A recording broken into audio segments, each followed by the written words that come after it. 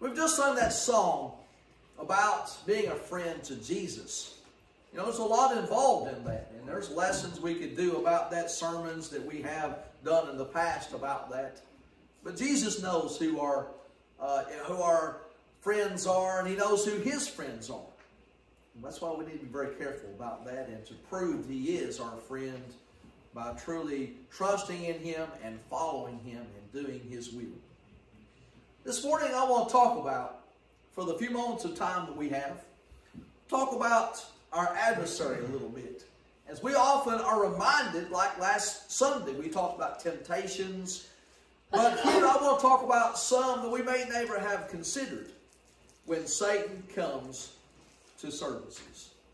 And this is something that we may never think about in this sense that Jesus wants us to do what's right, but Satan often does wants us to do what's wrong.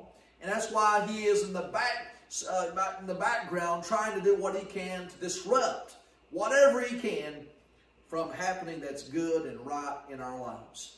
Our lesson text is taken from Job chapter 1, verses 6 to 12. Before I begin, I know you may notice the graphic there. You, know, you ever thought about what is your view of Satan? And I know there's pictured as a person who's in red, having a pitchfork, maybe with pointy ears, and a barbed tail and such. That's not the biblical picture of Satan. I want to tell you that right now.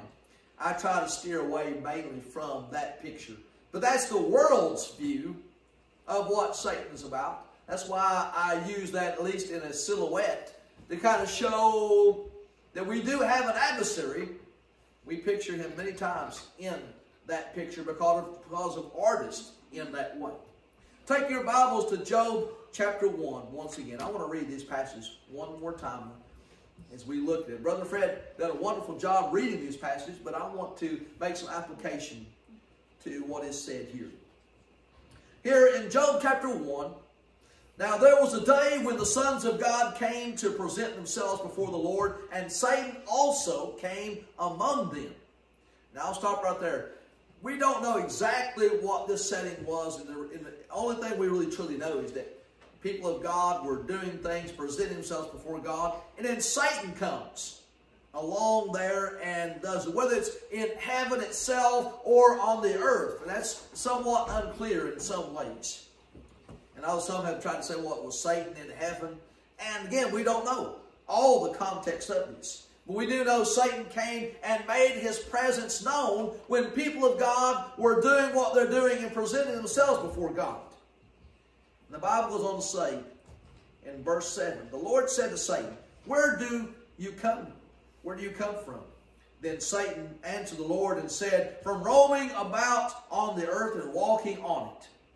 The Lord said to Satan, Have you considered my servant Job, that there is no one like him on the earth, a blameless and upright man, fearing God and turning away from evil? And Satan answered the Lord, Does Job fear God for nothing? Have you not made a, a hedge about him and his house and all that he has on every side? You have blessed the work of his hands, and his possessions have increased in the land. But put forth your hand now and touch all he, that he has. He will surely curse you to your face.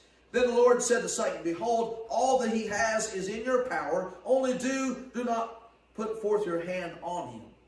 So Satan depart from the presence of the Lord. And so we see our lesson today. Can Satan be among the people of God today? And let's look at some of the things the Bible says about Satan's work as he is trying to do what he does among God's people. We know what he does in the world. That's pretty much the lesson last week. And, and we still, again, as God's people, fight temptations and such. Let's look at some of the other things that Satan does to criticize God's people. If you're still there in the book of Job, Job chapter 2 actually goes over this again. It's the same scenario that we saw in chapter 1. Again, the Bible tells the Lord said to Satan, Have you considered my servant Job, that there's none like him on the earth, a blameless and upright man, one who fears God and shuns evil? And still he still holds fast to his integrity, although you entice me against him, destroy him without cause.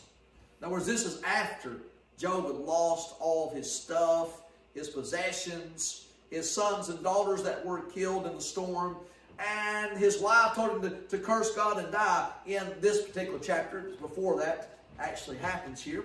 But again, in chapter 2, it seems like the same words. Have you considered Job, my servant?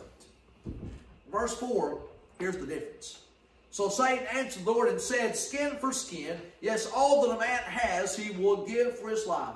But stretch out your hand now and touch his bone and his flesh, and he will surely curse you to your face. And the Lord said to Satan, Behold, he is in your hand, but spare his life. In other words, you don't kill Job, but you, you spare his life. And that's what exactly what it does. Exactly what the devil does. He goes on and gives him sores from the top of his head down to the bottom of his feet. And here he's suffering in agony because of what the devil's doing in his life. And so there's an attack here. But no, this is simply par for the course when it comes to Satan. Because that's exactly what his job is, his pattern of behavior. In Revelation chapter 12, verse 10, the Bible tells us here in the book of Revelation, John says, Then I heard a loud voice saying in heaven, Now salvation and strength and the kingdom of our God and the power of his Christ have come for the accuser. Here's what he's talking about Satan. For the accuser of our brethren, who accused them before our God day and night, has been cast down. He's referring to the fact that Satan lost in this battle. And Satan is, the, you might say, the ultimate loser when it comes to the idea of not ever being victorious over God and his people. But you know, he wants to criticize. He wants to accuse you and I even today, I believe. Because that's not something that was only for the Old Testament. Now, Satan's different. No, Satan still is going to act like Satan. He's going to continue to criticize God's people even now. And I believe that's one of the reasons why the one of the works of the flesh, the idea of slander and speech that goes against the other people, like in 1 Timothy chapter 6. Take your Bible and turn over there, if you will. 1 Timothy chapter 6, verses 3 through 5. Here the Bible tells us about how that we're not to be a part of this. And I'll tell you why, because we're never more like Satan, doing his work, than when we are acting just like him in this regard. In 1 Timothy chapter 6, verse 3. Here the Bible says in verse 3, if anyone advocates a different doctrine and does not agree with sound words, those of our Lord Jesus Christ, and with the doctrine conforming to godliness. If people don't agree, and we see this all the time, people come to services sometimes with different doctrines and ideas and opinions about things. Notice what he says in verse 4. He is conceited and understands nothing, but he has a morbid interest in controversial questions and disputes about words out of which arise envy, strife, abusive language, evil suspicions, and constant friction between men of depraved mind and depraved of the truth, who suppose that godliness is a means of gain. But godliness actually is a means of great gain when accompanied by contentment, as I read on verse 6. You know what he's telling us here? Don't be like Satan, because he's the critical one.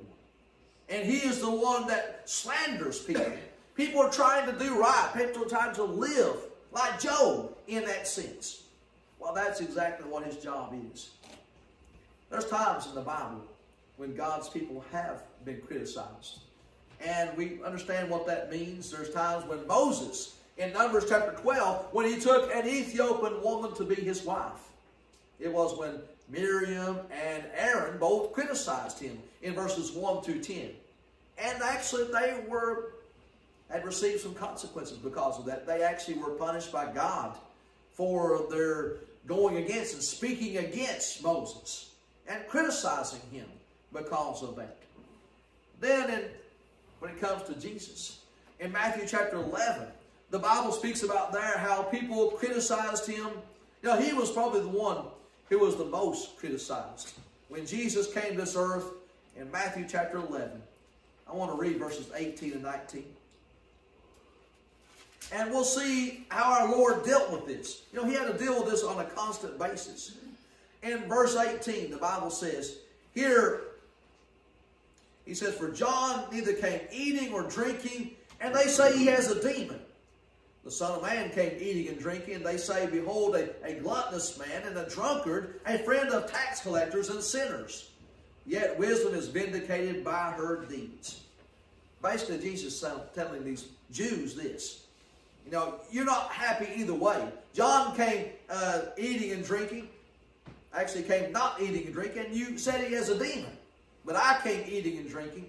And you say he's a gluttonous man and a friend of sinners. In other words, whichever way you go, you're wrong in the eyes of those who want to criticize you. You know, the devil's the same way when it comes to us. There's times when he says, oh, you're not smart enough. You're not good enough to be a Christian. You've done all kinds of bad things. You can never to measure up to anything. All kinds of, of negativity. You know, the devil is the king of, of negativity. You know why? Because he wants to discourage us. He wants us to make us feel less than who we really can be in Christ and in God. And in chapter 12, again, they criticized him said, oh, You cast out demons by the power of Beelzebub. No, it can't be God that's helping you. You know, they would say anything about Jesus because they did not want to accept him. They did not like Jesus. Oftentimes it's your enemies who are the most critical of you. That's we see that with Jesus, that they were most critical of him while he was here on this earth. And Paul faced, there's many times we can look at the life of Paul. Some slanderously said that he done evil that good may come, as what the Bible says. But here in Acts 27, when he had brought some Gentiles into the worship where the Jews were, in the temple. Now some came later try to accuse him falsely of doing more than that, trying to destroy everything. You know, Paul not, was not trying to destroy the worship of the Jews, but he was actually trying to teach them the ways to bring them to Christ, where his true worship is, and service to God. Now the question comes, how do we handle criticism? Take your Bible over to 1 Peter chapter 3 and you'll see what Peter says about this. That it's interesting that we need to know how to handle this. Because there's times when criticism will come. I think no one is immune to it. We all have to face the voice of the critic from time to time. Whether it's right or just or not. In verse 14, here Peter says, but even if you should suffer for the sake of righteousness, you are blessed. And do not fear their intimidation, and do not be troubled. But sanctify Christ as Lord in your hearts. Always be ready to make a defense to everyone who asks you to give an account for the hope that is in you, with yet with gentleness and reverence. Now, you, you don't overreact to criticisms and such. Verse 16, and keep a, a good conscience so that in the thing in which you are slandered, in other words, that word slandered, the New American Standard uses the word slandered, reviled, and such. You know, basically they're saying things about you there. Going on to say, those who revile you for your good behavior in Christ will be put to shame. now, how does that happen? Well, one day, all God's people will be vindicated. Moses will be vindicated among the people uh, because he was a right man. He was a just man. He was the meekest on the face of the earth, Jesus especially, we know will be vindicated before all the world that he truly was the Son of God and that he is the one we follow today. And even Paul. Paul had the best of intentions and was sincere about what he was trying to do in service to God. And yet he was criticized for that, even by some brethren saying, well, he's weak in person. He's not able to really stand. That's what some said at Corinth about that in 1st and 2nd Corinthians as well.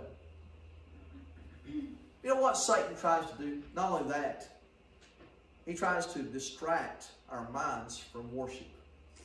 We're here together. We're here for a purpose, aren't we? We're here to try our, to the best of our ability to honor God, to glorify His name, and to put Him first in our service and our worship to Him.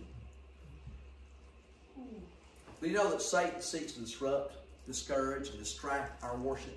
You know, he'd rather you not be here in the first place. He could make a, a thousand reasons why you could be doing something else, why you need to stay home, why you can stay home, and that you should stay home.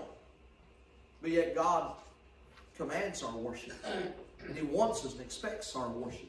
In Job chapters 1 and 2, I believe he makes it hard on Job. I think the, the, the proof of that is in Job chapter 2. Go back over to Job chapter 2. Notice what it says about how, how Job suffered because of this. When Satan went out of the presence of the Lord and smote Job with sores, boils from the sole of his foot to the crown of his head. And he took a potsherd to scrape himself while he was sitting among the ashes. Then his wife said to him, Do you now hold fast your integrity, curse God, and die? But he said to her, You speak as one of the foolish women says, Shall we indeed accept good from God and not accept adversity? In all this, Job did not sin with his lips. Now, Job made this extremely hard for Job. I mean, uh, excuse me, Satan made this extremely hard for Job to concentrate on worship.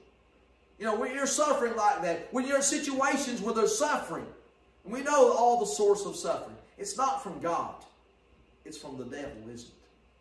And so ultimately, he wants us to not even be a part of the worship because of that. Satan truly tries to seek to distract us, disrupt us from worshiping God while we're here.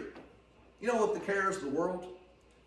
I put this picture on the chart of a, a little boy, perhaps, maybe while everybody else is singing, he may be daydreaming. I, I'm going to put that in that context, if I will. Not to put that boy down. But have you ever done that before? I have to relate this about my past myself. That when I was a young person, when I was there uh, going to a particular church there in Kentucky, I found it very difficult to listen to sermons. And maybe you do too, maybe because it, I'm not probably not the best speaker in the world. But, maybe it's because of the topics. Or maybe the things of the world have such a hold on us that we can't even stop about thinking about fishing or, or bowling or camping or anything else that might be something that we really enjoy. Now, I know there's things we can enjoy in this life. But, you know, our focus should be on what we're doing right now is the most important thing we should do. You know, true worship requires full concentration and focus. Going back to myself, back when I was a young person, back in my teenage years especially, when the preacher was preaching, I'd be thinking about other things. I was like, what am I going to do after services? I've been thinking about what uh, things I could get into, maybe some video games I could play, things like that. You know, young people do sometimes. It's hard sometimes, I know, to focus. Especially we're talking about things of God every Sunday. But this is our life, isn't it? It's about what we are, who we are as God's people today. In John chapter 4, 23 and 24, Jesus said, but the hour is coming, he's talking to the Samaritan woman at the well. But the hour is coming, and now is, when the true worshipers worship the Father in spirit and truth. For the Father is seeking such to worship him. God is spirit, and those who worship him must worship him in spirit and truth.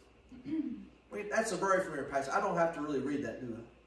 You know, and I know, that we need to put our heart and our mind, that's part about the spirit, and give God the truth and worship Him according to truth. I think that's part of what we do today. But again, we're going to be servants of God, how difficult is it sometimes, especially when you have young kids, especially when you have little babies to watch? And I know young parents have a, a difficult, sometimes more difficult than others. Or maybe which there's times when I'm preaching that you have some physical ailments, maybe the back and stuff like that are, are hurting. And it's hard to listen to someone when that's going on in your life. When you have aches and pains and things that no fault of ourselves, it's because of, of who you are. And, and sometimes the, the things that of life takes us there. Realize that's it's hard to give full concentration, isn't it? But that's hard to do, but it's something we do because we love the Lord. And the question I have, is does our mind wander to the things of the world? You know, what we could do, but we need to focus on what we're doing right now in service to Him. And I think the devil has a part in that because he makes all these other things more appealing in some way. Sometimes kids say, well, church is boring. Well, they may say that. You know, things that you really are interested in, things that you really are, are wanting to do more than anything else, they're not boring. if you put your full heart into it, church is not boring. It's the most important thing you could ever do. And I will say this does the devil throw so much at us when it comes to physical pains and such, and suffering in our lives and temptations and such? That's even hard to be here, even hard to make it to the assemblies. Satan will try to do that because he does not want us to do what we're doing right now in service to God. But we must because we are his people. And we are here to glorify. We need to think about that. God's name is not glorified by me if I'm not there in services. I need to be there. We need to keep our hearts. Actually, He wants to keep our hearts from the Word. We must keep our hearts on the Word of God. Know, Jesus, Jesus told us that, didn't He? That Satan will try to steal the Word. Take your Bible to Luke chapter 8, if you will. In Luke chapter 8, Jesus gives us a parable about the sower. He also does in Matthew 13, but also Mark chapter 4 gives the same, gives the same parable. In Luke chapter 8, we're in verse 5. He says, The sower went out to sow his seed, and as he sowed, some fell beside the road. It was trampled underfoot, and the birds of the air ate it up. Other seed fell on rocky soil, and as soon as it grew up, it withered away because it had no moisture. Another seed fell among thorns, and thorns grew up with it and choked it out. And it goes on to talk about this parable. He tells his disciples, It's granted to you to know the mysteries of the kingdom of God. Now, what is this idea of the birds taking the seed? So, you know, we can see that picture how bird like seed, they will go out and take out the seed. And it never has a chance to get planted in that soil because it's gone. The birds eat it up. Well, Notice what it says in verse, verse 12. Those beside the road are those who have heard. Then the devil comes and takes away the word from their heart so that they will not believe and be saved. I think one of the accounts says immediately comes and does that.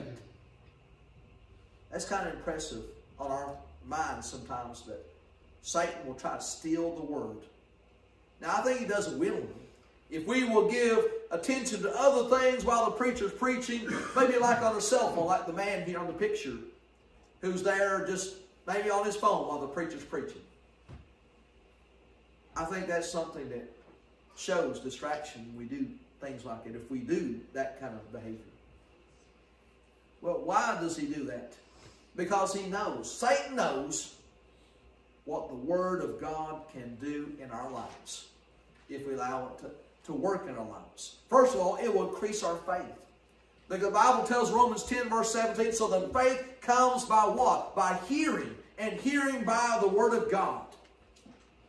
In other words, when we are listening to God's Word, talking about Jesus and, and Paul and, and all the things of the gospel, that ought to increase our faith, build us up when it comes to that. Also, it builds us up, as Acts 20 verse 32 tells us. Paul said, I commend you to the word of, of his grace, which is able to build you up and to give an inheritance among all those who are sanctified. Yet it also tells us we need to have the word in our life because if you want to be built up and become more spiritual, focus on the word. Don't be distracted by Satan. Don't let him steal the word out of your life. Because he knows if you stay in it, you can be saved. That's what the last point is. God's word saves us. James 1.21, Therefore lay aside all filthiness and overflow of wickedness, and receive with meekness the engrafted word or the implanted word, which is able to save your souls. That's why Satan wants to keep our hearts from the word. But he also wants to try to tear up. Once people are following God's word and listening to God's word, you know what the devil tries to do is try to destroy things. Like Satan tried to do his best to start strife there.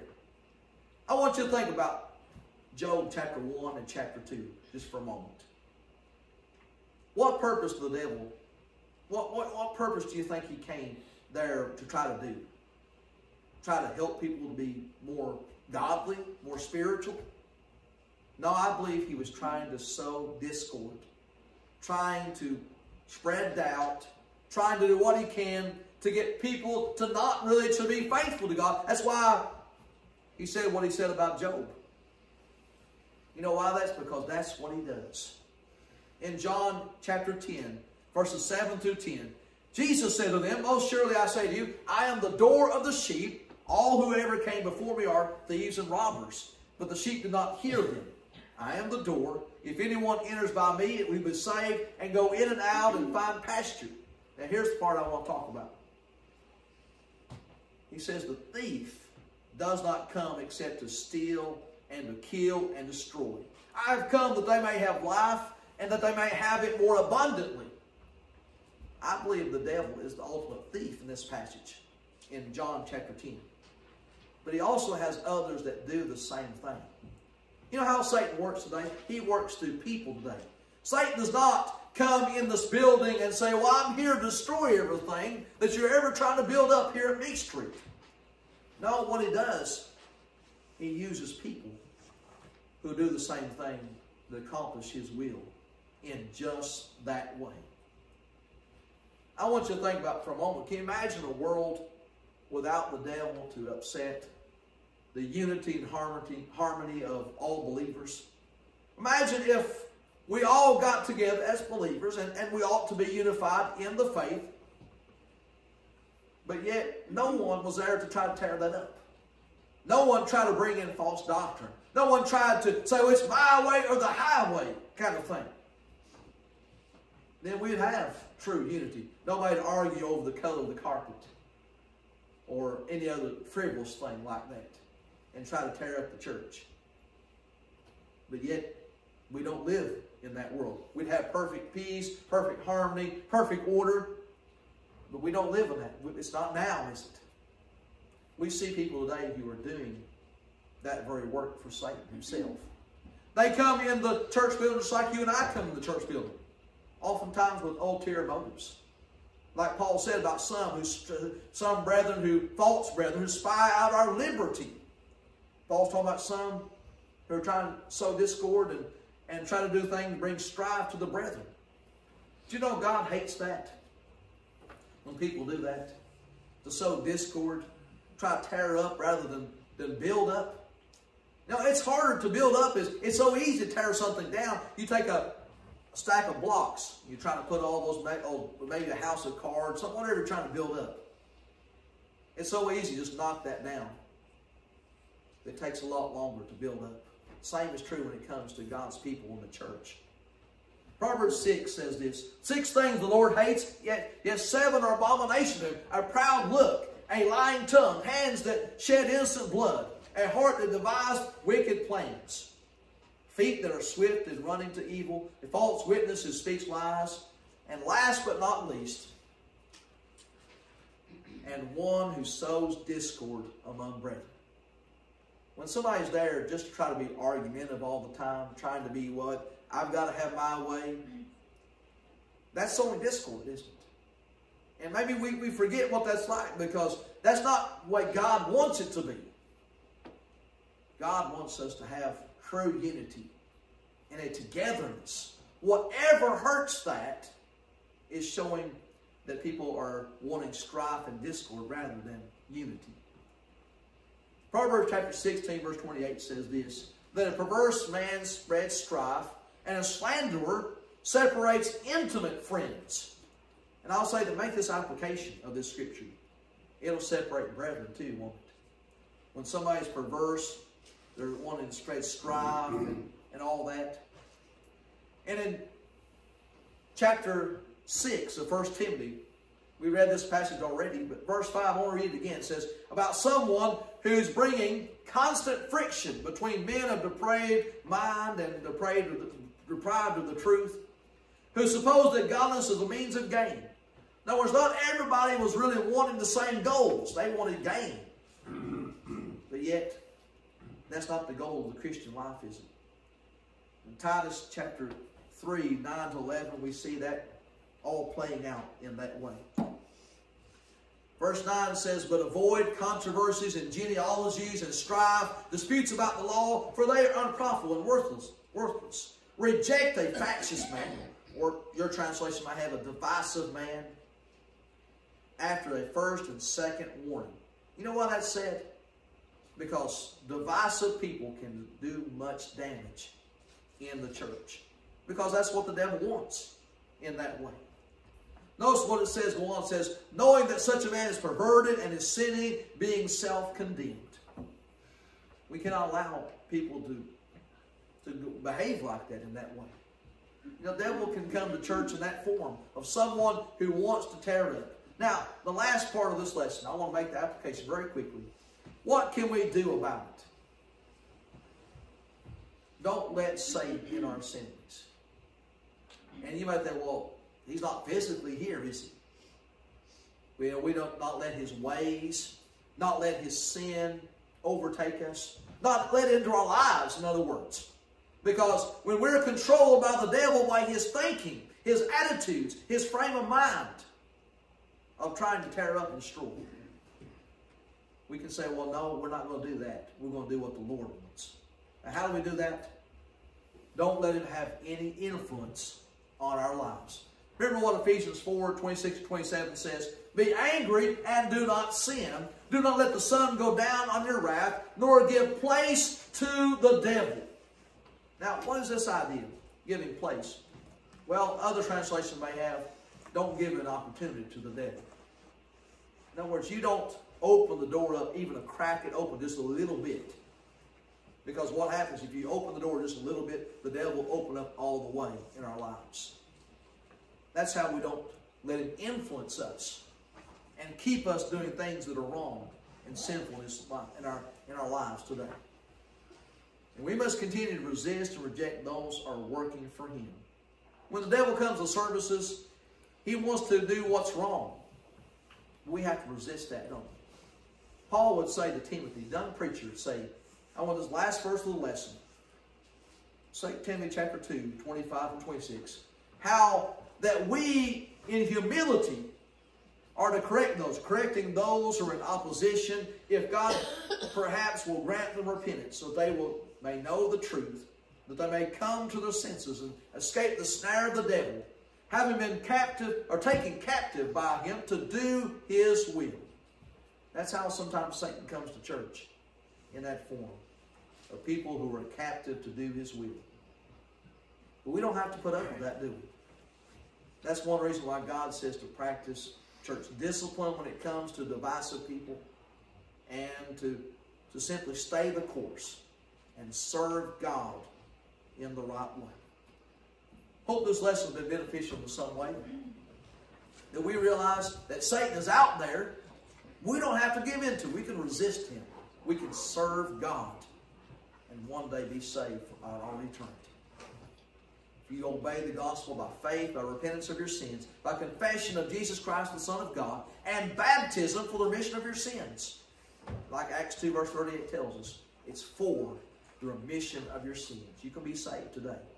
If you need to respond to the gospel call of salvation, why don't you come? Together we stand and we sing the song that's been selected.